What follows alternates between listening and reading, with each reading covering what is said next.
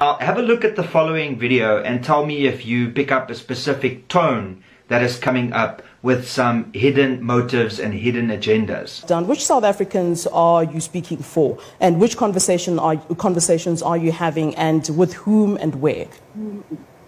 Well, I'm having conversations with South Africans who are frankly fed up with the lack of which information ones, they've received where? from government.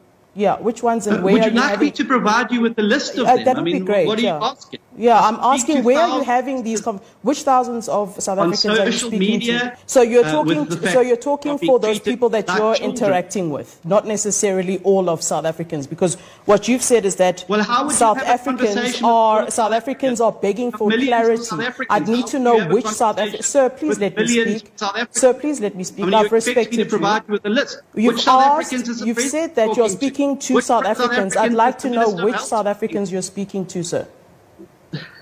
Well, would you like a list? I mean, if you ask the If you can president, do that, South that would be great because if you're speaking for the majority of South Africans, then I'd like to know that you're speaking for the majority of South Africans. When you say us, we, South Africans, who are you speaking to? Is what we're like saying. if I, if So I look, if I look to- at social you've got you- media, a lot of people are saying that there should be lockdown regulations to protect Well, a lot uh, of South people are saying Africans. they're not.